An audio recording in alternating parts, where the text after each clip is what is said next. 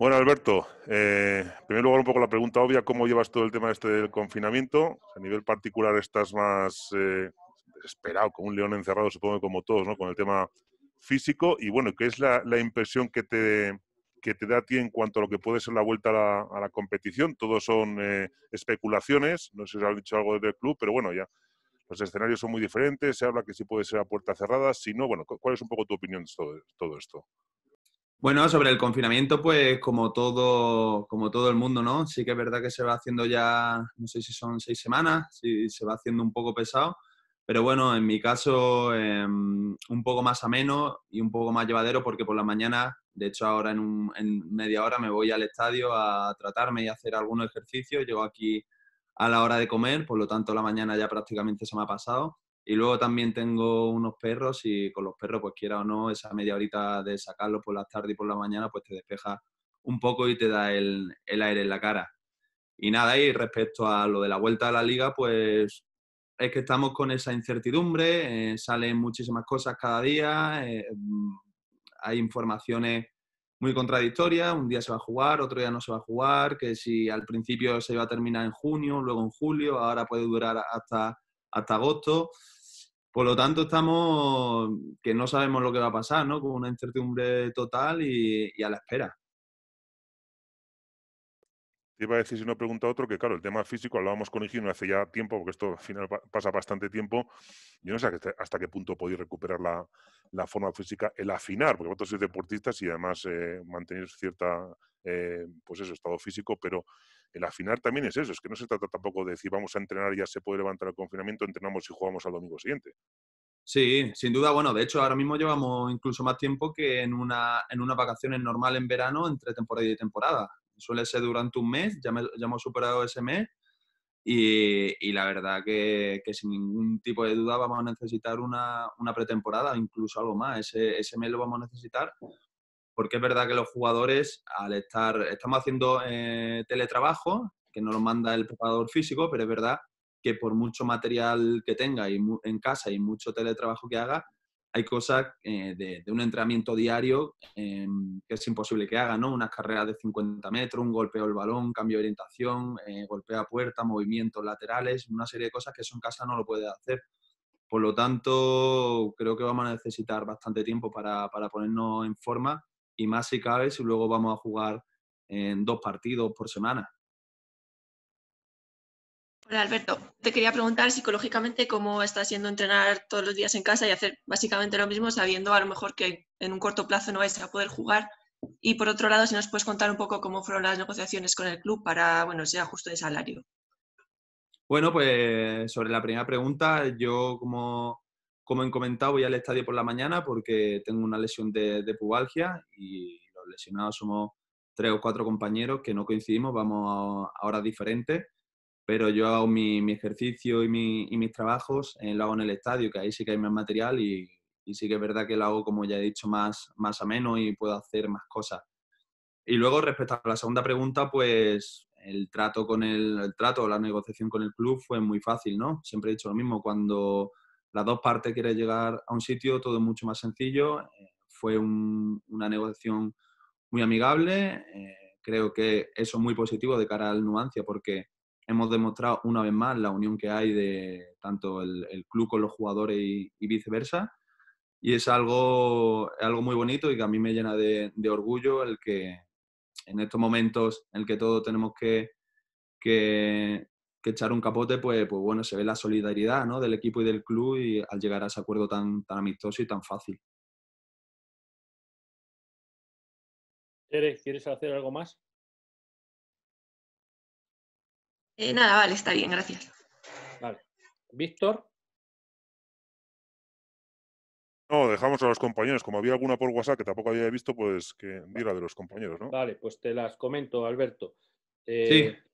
Me pregunta del Heraldo Diario de Soria si superado el confinamiento y de vuelta a la competición, eh, si ven, si veis, si ves personalmente riesgo para la salud, ¿te negarás a jugar? Sí, por supuesto que, me negaré, pero no yo, sino todos los compañeros y todos los futbolistas en este sentido tenemos que ir de la mano. Em, estamos viendo, bueno, nos está molestando que nos sentimos los protagonistas de este deporte, o, en gran parte los protagonistas, ¿no? somos, somos los futbolistas. Y es verdad que creo que no se nos están eh, tomando muy en cuenta. Sin ir más lejos, eh, el sábado pasado tuvieron una reunión el CSD, la Federación y la Liga, donde no se, nos, eh, comunicó, no se nos comunicó a nuestro organismo que nos representa, que es la AFE, esa reunión, ¿no? Por lo tanto, nosotros, el, el, paso bueno, que, vamos a, que vamos a tomar todos los futbolistas, que ayer tuvimos, tuvieron una reunión todos los capitanes, de segunda con la AFE es ponernos directamente en contacto con, con, Sanidad para que se nos escuche, para que se nos valore, porque nosotros sí estamos dispuestos totalmente a, a, que se termine la liga y a que se reanude la liga, porque creo, creemos que el bien para, para todas las partes, pero que nos garantice eh, sanidad, que no corremos ningún tipo de riesgo, ¿no? Mucha gente que vive con sus padres o futbolistas que viven con sus padres o que tienen o que son padres que tienen que tienen hijos eh, con la mujer, con eh, y, es difícil que si no, o sea, es muy probable que en un partido, que si se reanuda la liga, eh, haya mucho contacto durante un partido, durante un entrenamiento, que nos podamos contagiar y que esto se lo, se lo pasemos a, nuestros familiares, ¿no? Por lo tanto, sí estamos de acuerdo con que se reanude, pero eh, que nos garantice sanidad el 100%, bueno, aunque el 100% sí que es, sí que es muy difícil, pero que ellos que se dedican a, esto, ¿no? Informarse y a ver que, todo es más seguro, que nos garantice que no hay ningún tipo de problema para jugar. Alberto, me preguntan de Agencia F el estado de forma para disputar los partidos, no sé si será un hándicap o será importante, y más si se disputan cada 48 horas, como es una de las previsiones. Sí, sin duda el estado de forma va a ser, va a ser vital para, para lo que termine la liga, porque va a ser una liga, va a ser una 11 jornada muy, muy, muy exigente, en la que va a haber un tiempo de un periodo de descanso entre partido y partido muy corto. Y, de cara a la segunda pregunta, sí que es verdad que lo veo inviable, es imposible, imposible. O sea, esto realmente es lo que me molesta a mí, a mí, a todos los futbolistas. Aquí se está teniendo en cuenta, yo entiendo, a la liga y a, y, a todo el mundo que esté relacionado con el fútbol que se pierden muchos millones. Pero no puede explotar a, un futbolista. Nosotros no somos robots, no somos máquinas. No puede, es imposible. El señor Rubiales, como el señor David Aganzo, em, han jugado al fútbol, han sido futbolistas profesionales. Es inviable jugar cada, 48 horas por la salud eh, de los jugadores, por los músculos, por el corazón, por el sobreesfuerzo. Más si juegas y te metes ya en verano. Es imposible cada 72 horas, o sea, dos partidos por semana, me parecería exigente, pero yo sí que lo veo viable y sí que puede ser, pero cada 48 horas que para mí no, es que no lo vea, sino el que el simple hecho de decirlo es una auténtica locura. Eh, otra pregunta, Alberto. Fuera del fútbol, como ciudadano, ¿cómo estás viviendo tu confinamiento, el de tus compañeros y el de tus familiares?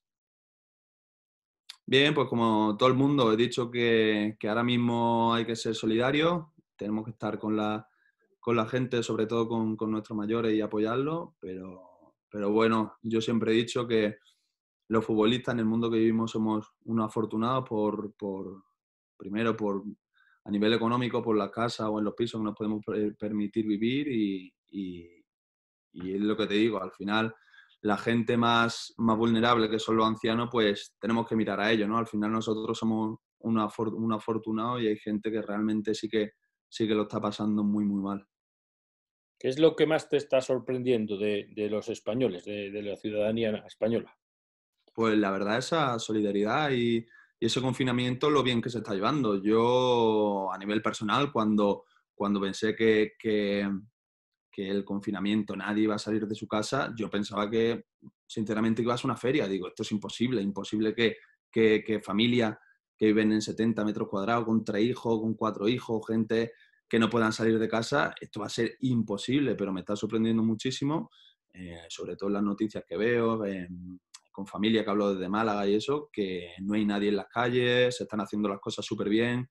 Creo que en este sentido los ciudadanos españoles estamos dando un ejemplo al resto, de, al resto del mundo, ¿no? De, de solidaridad, de responsabilidad y de que estamos haciendo las cosas bien. Y por último, eh, le das muchas vueltas a la cabeza de cómo afecta, puede afectar todo esto a, tu vida y al fútbol. Sí, bueno, sí se le da vuelta. Es verdad que, que tienes esa incertidumbre. eh, de qué va a pasar, de si se va a jugar, si no se va a jugar.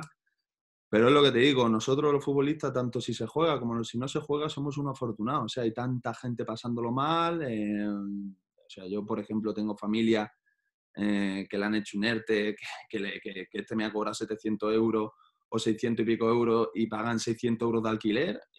El tercer día ya contaban con 40 o 50 euros. Por eso te digo que al final hablar del futbolista sería algo egoísta. Eh, creo, que, creo que es momento de, de, de, solidarizarnos y creo que el fútbol, por eso también me molesta un poco que se habla que, la liga está, está poniendo, poniendo tanta insistencia en jugar, jugar, jugar, jugar, que si no íbamos a hacer test eh, cada día, no sé cuántas veces al día test, pues si hay un montón de gente que le falta test, como que nosotros que somos los, los, reyes del mundo o qué, que no hagamos dos o tres test al día. Pues eso es lo que te digo. Eh, hay cosas ahora mismo muchísimo más importantes que el, el fútbol y, y, hay que echar una mano. Eh, a mí sí me gustaría, Luis, eh, bueno, no sé si habéis terminado ya, ¿eh? Antes de terminar. Sigue, sigue.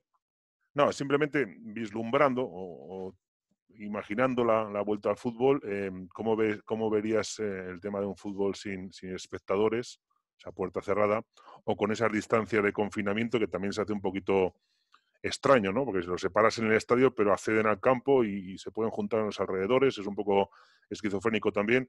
Y que si vislumbras un verano, tanto los futbolistas como el resto de la sociedad, que parece que todo el mundo ha estado, no de vacaciones, pero sí parado, verano extraño en el sentido que la actividad siga igual, al no haber eh, tema turístico, prácticamente no va a haber vacaciones. Es decir, ¿cómo, ¿cómo, vislumbras? Ya sé que hay muchas incertidumbres, pero ¿puede ser un verano que sea como época habitual de, de curso normal?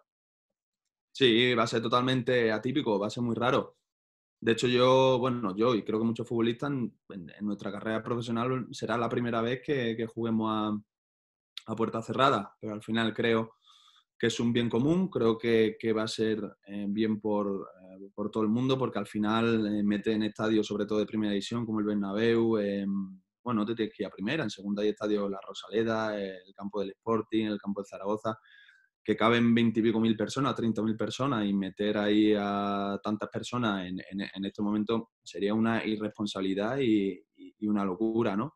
Por lo tanto, eso sí, en el caso de que se juegue, sí que, sí que veo fenomenal y apoyo la idea de que se juega a puerta cerrada. Sé que es eh, un fastidio para los abonados que han pagado su abono para, para ver a su equipo, pero bueno, es lo que hay. Y respecto al verano, pues, pues igual, eh, a mí sí que me parece más difícil esa, ese confinamiento en verano, ¿no? Porque al final, eh, con tanto calor, sin poder ir a la playa o a la piscina, a ver cómo, a ver cómo, cómo se hace. Así que, o el, o el tema de, los negocios, eh, España gana muchísimo eh, dinero en el, en el, tema turístico, ¿no? Y, y, y negocios, eh, bares, discotecas, restaurantes que se cierren, como escuché, hasta, hasta Navidad, pues, pues va a ser algo muy, muy complicado y sobre todo que creo que, que va a afectar muchísimo a la, a la economía española.